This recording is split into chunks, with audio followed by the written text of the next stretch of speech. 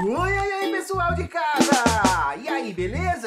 Que bom que você já está aí, porque hoje tem Quintal Podcast! Yeah! É, Osório, aproveita e fala Ei. pra eles que tem sessão dupla do Quintal Podcast. Eba! Olha lá, Doro, todo mundo gostou, não é mesmo? Então, bora gravar. 3, 2, 1. E a primeira história é. O aniversário de Dona Fulô! E tudo acontece no Arraial de Santa Clara. Esse povoado era um lugar muito alegre, cheio de crianças e bichos. É, e dentro de uma grande árvore repleta de pássaros e flores. Ali morava uma senhora que já ia para mais de 100 anos de idade. É, a Dona Fulô. A flor madura do sertão, vendedora de chás, água de cheiro e essências. Dona Fulô! Ô, Dona Fulô, tá em casa? É, eu tô precisando de umas beberagens. Oxente, é tu, Pinguelinha. Entre e se sente, minha filha. Muito obrigada. É, eu não vou me demorar não, viu? É, eu só vim pra poder buscar um chazinho calmante pra mãe e uma água de cheiro pra Ritinha. A água do chá tá fervendo. Enquanto eu separo as coisas pra tu levar, hã? come uns biscoitinhos e tome um chazinho, ó. Que tu tá muito mirradinha, vice. Muito agradecida. Tá muito gostoso, viu? Agora me diga uma coisa? Por que que tu tá toda enfeitada desse jeito, hein, Piguelinha? Tem mais pulseira aí do que braço. E os cabelos? Os cabelos bem trançados, cheios de laçarotes?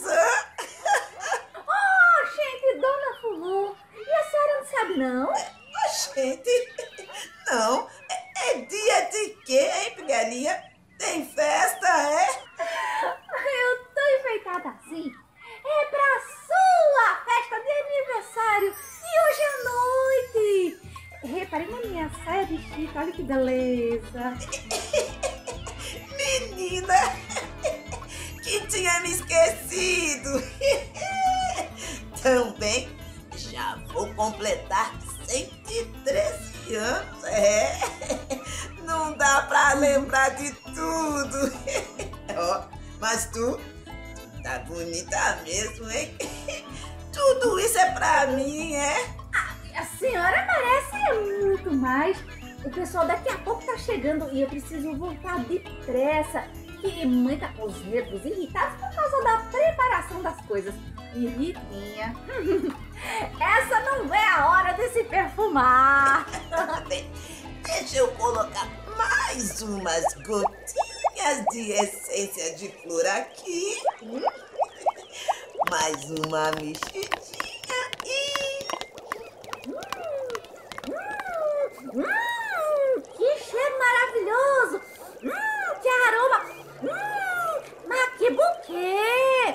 Hum, ah, borrifa um bocadinho desse perfume. Ah, por favor, vai. Pronto, pronto. Agora ande logo. Ande logo que eu também preciso me aprontar. é? Eu gosto é muito de festa. Eu quero dançar até.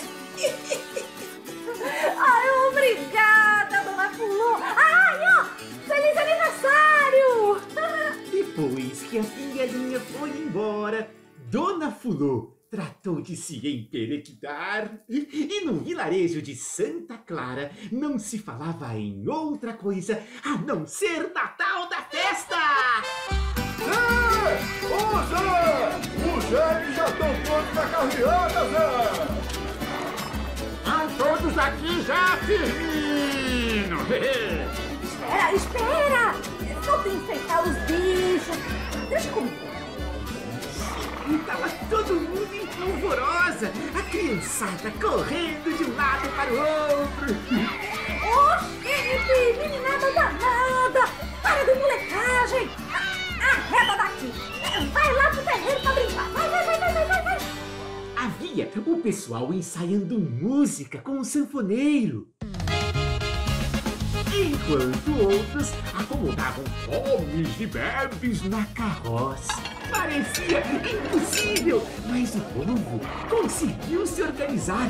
E aí foram todos em carreata para a grande árvore da Dona Flor. Úrsula! Vem cá, Úrsula! Oi, Bastião. Fala, o que, você quer? Você tá vendo aquela colmeia ali? Ah, tô, tô, tô sim. Parece que ela tá cheia de abelha. É. Vamos tocar uma pedra ali, espantar as abelhas e pegar o mel delas. Vamos! Xiii, já não sei não. se- Será que é uma boa ideia? Cara, deixa de ser estraga prazer, ô! Estraga prazer, é? Então, olha só. E não é que a tal da Úrsula, só de raiva da ofensa, atirou uma pedra na colmeia.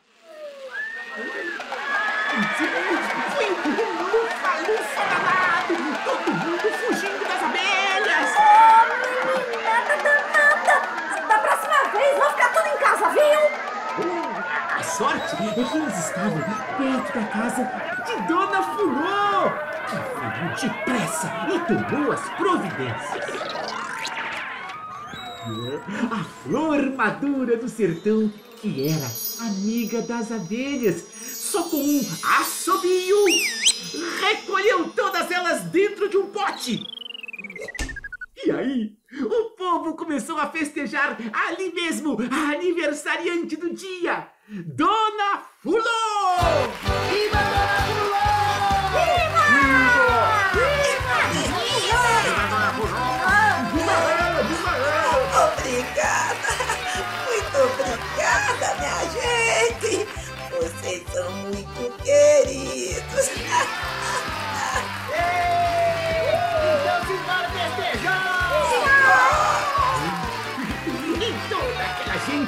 mais a Dona Fulô, festejaram até o dia clarear, dançando ciranda em volta da fogueira.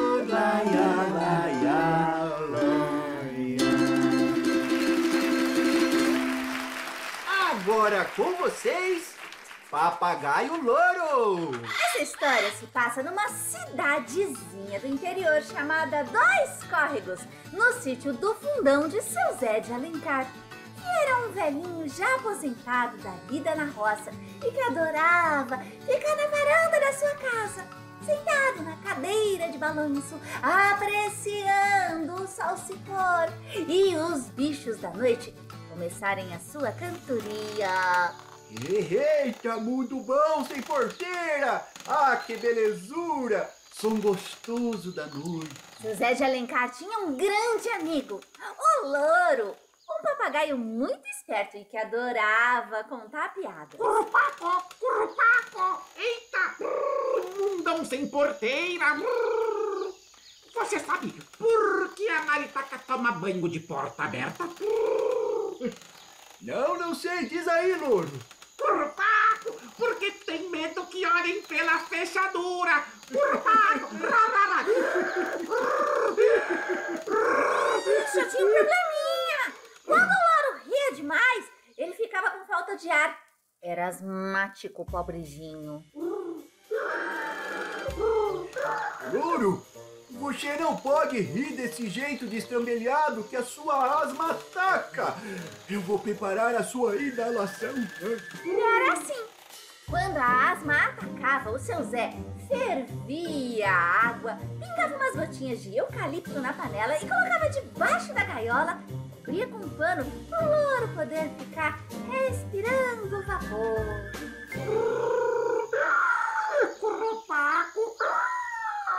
Calma, calma, eu vou ligar o rádio para distrair enquanto você faz a inalação. Calma. E assim, aqueles dois iam vivendo, cuidando um do outro. Até que um dia. Alô, Mercedes? Vô, é o senhor? É, preciso do C, viu? Vem depressa!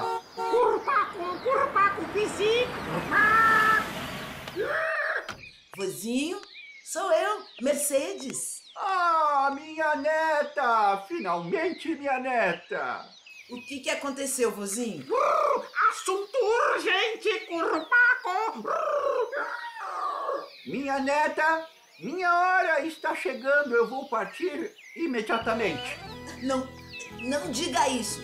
O senhor está com a saúde perfeita. Não pode morrer agora, vô. Morrer? Bater as botas?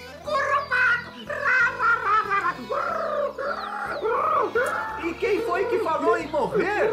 Não! Eu vou viajar para a capital e preciso que cuide do louro para mim. Socorro! Essa aí não sabe lidar com o bicho! Frescalhona da cidade! Ora, seu,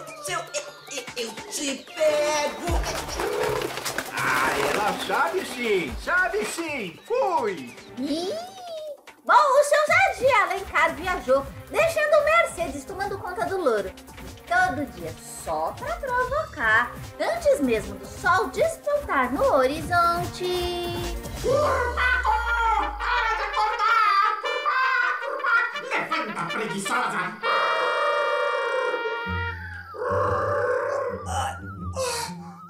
Fica quieto, louro. Currupaco, ai, ai, ai, não precisa jogar nenhuma sandália em mim, não é, Currupaco? Ela queria era sumir com ele. Até que uma noite. boa noite, louro. Vou dormir tampão dos ouvidos. Assim, não tem perigo de você me acordar tão cedo. Hum, Currupaco, e se eu precisar de você durante a madrugada, hein?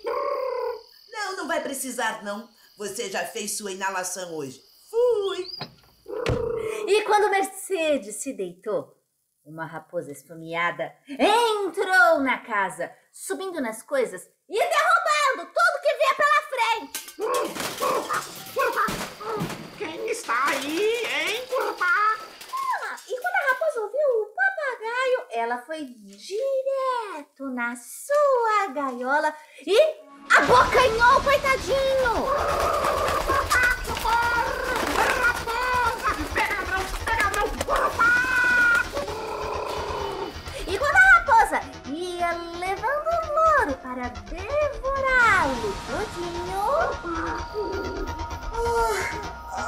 Ah, eu não devia ai, ter bebido tanta água antes de dormir. Levantar pra fazer xixi ninguém merece. E pra sorte do louro, quando Mercedes foi até a cozinha, reparou que o papagaio não estava na gaiola. Ela olhou pela janela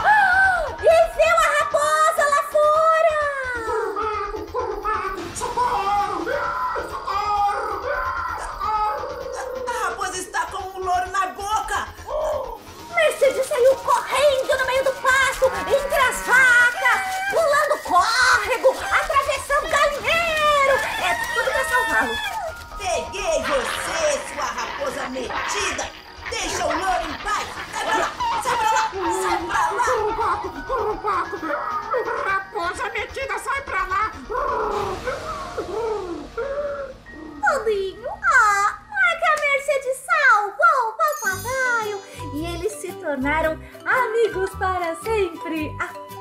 Até o seu Zé de Alencar voltar, a Mercedes ia todo final de tarde pra varanda para ficar apreciando a paisagem, ouvindo as piadas do seu novo amigo. Eita, mundão sem porteira. Mercedes! Mercedes, você conhece a piada do papagaio fofoqueiro? É! Viu como é possível e fácil quem vem da cidade se acostumar e se encantar com o mundo rural? É, e de dois marrentos nasceu uma verdadeira amizade. Final feliz na história e no nosso encontro de hoje. Beijos a todos.